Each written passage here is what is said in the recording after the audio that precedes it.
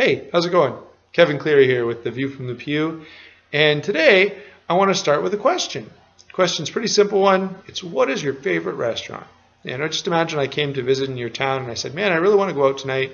I'd like to get something good to eat. Can you tell me where to go? Where would you tell me? Now, you've kind of got this answer in your head probably. I know I'm thinking of the Pierogi Palace here in Meaford. Uh, the next question is why? What is it about that place that that appeals to you because in the way that it does?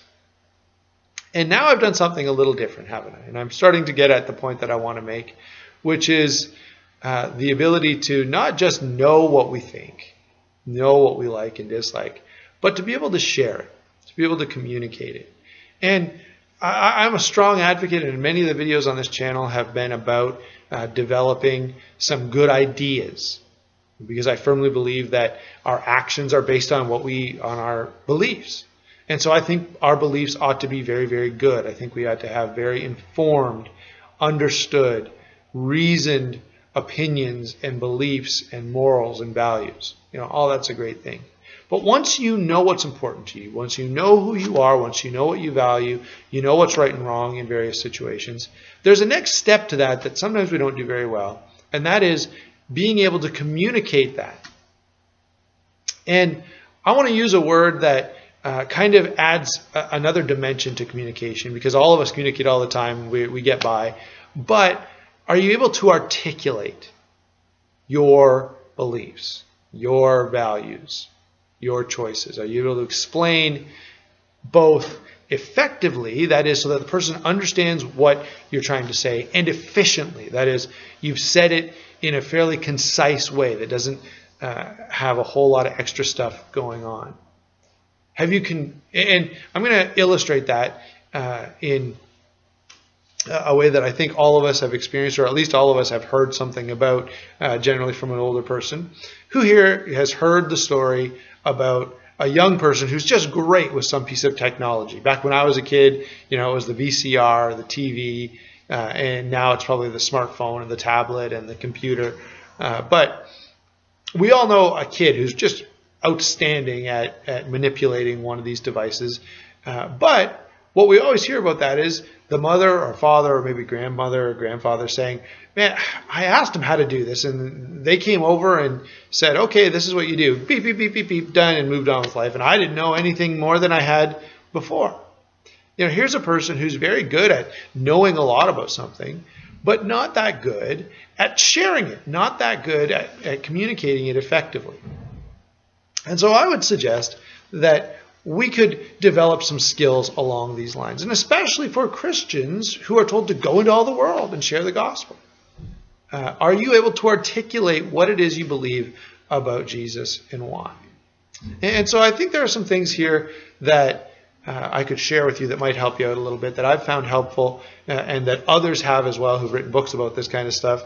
And, and so hopefully these few little pointers will help you to be a better communicator, will help you to be more able to articulate the things that uh, you feel like are important to you and you'd like to be able to share with somebody else.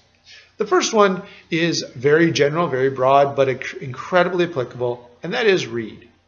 Uh, spend time reading good authors who you know do a good job with their grammar, who are concise, who are eloquent, and by spending time reading good writers, every aspect of your communication will get better. Spelling, grammar, word use, vocabulary, it will all improve if you read people who are good at all of those things.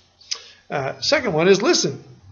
Now, there's some overlap between this point and the last one, but here what I mean is listen to someone who's already good at making the points that you want to make.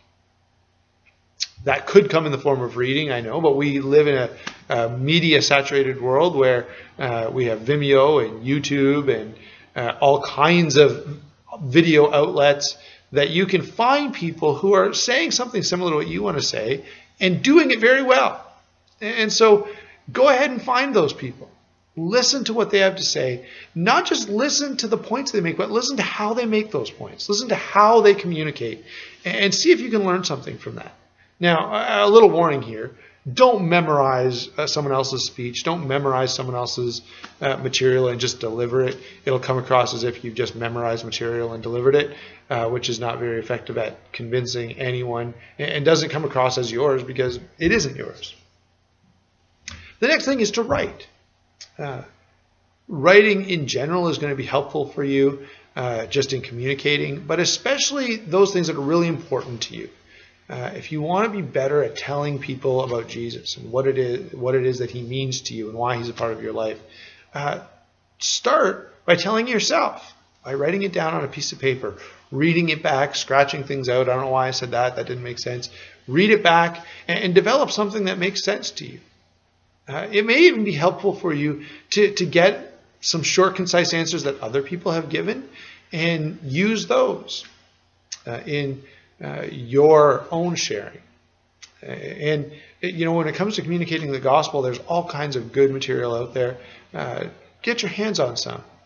Uh, maybe it's like their little ready reference or Nichols Pocket Bible Encyclopedia or a brochure, or maybe it's something you have produced yourself or your preacher or teacher or someone else who goes to the church where you go has produced that just really does a great job of communicating the gospel. That's awesome. Use it. Don't just use it though. Learn to know it yourself so that eventually you get to the point where you don't need that either. So write down what you're thinking, write down your reasoning, and use that as a way to analyze and improve. Take your time. This is one of those things that all of us struggle with. Many, many times when we're in a conversation with someone, we're not even listening to what they're saying. We're already deciding in our minds what we want to say in response to them after, you know, they've said two words. Uh, that's not a very good way of listening because you may miss something important about the about what the other person is saying. But it's also a good way to stick your foot in your mouth. It's a good way to go off half-cocked and not say what you really mean, and, and therefore not be very articulate. And, so, learn that it's okay to have a, a minute where things are quiet. Learn that it's okay when someone asks you a question, or even halfway through a statement that you're trying to make, say, just a second you know, and, and think. And then after you kind of thought through what you're trying to say, then go ahead and open your mouth and keep going. Uh, it, that will just save you so much trouble and will make you such a better communicator if you just learn to be quiet for a second and think about what you want to say. Practice.